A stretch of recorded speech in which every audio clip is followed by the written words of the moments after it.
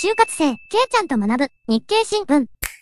ダイハツ工業は認証検査での新たな不正発覚を受けて25日に国内すべての完成車工場での生産を停止した。この措置は大阪府池田市にある本社工場でも実施され、軽乗用車コペンの製造ラインも停止に追い込まれた。生産再開のめどは立っておらず、工場を出る社員からは不安の声が漏れている。午後5時を過ぎると業務を終えた従業員が次々と退社していった。40代の正社員の男性は少なくとも2024年1月末まで工場は停止するとの会社からの通達を受け、今後の生活や働き方について不安を感じていると語った。また、工場停止期間中に別の職業への転校を考えている者もいる。ダイハツはすでに京都府や滋賀県、大分県などの工場を停止しており、本社工場の全面的な停止により、国内でダイハツが稼働する完成車の組み立て工場は存在しなくなった。同社の国内工場で働く正社員は、2023年4月時点で約9000人に上り、2022年度の国内生産台数は約87万台である。国土交通省は、ローカル線を支える鉄道人材の確保を目的として、2024年度に運転士の年齢規制を緩和する方向で検討している。現行の20歳以上から18歳以上への引き下げが予定されている。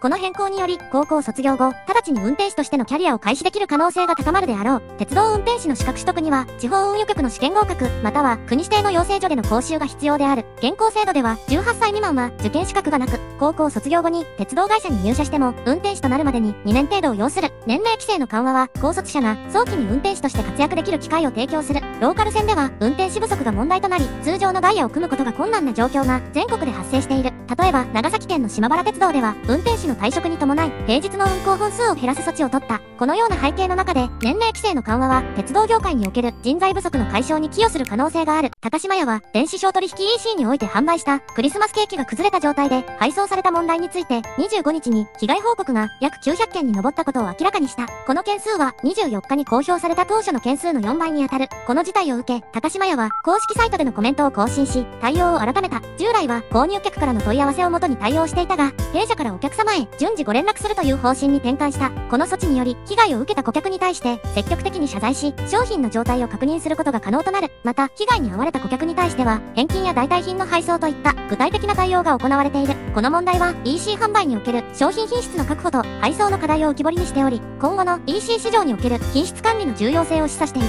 特にクリスマスシーズンにおけるケーキのような季節商品の取り扱いでは、顧客満足を確保するための迅速かつ適切な対応が求められる。高島屋は、この経験を教訓に、今後の EC 事業における品質管理と顧客サービスの向上に取り組む必要がある。ご視聴ありがとうございました。チャンネル登録待ってます。今日も元気に、いってらっしゃい。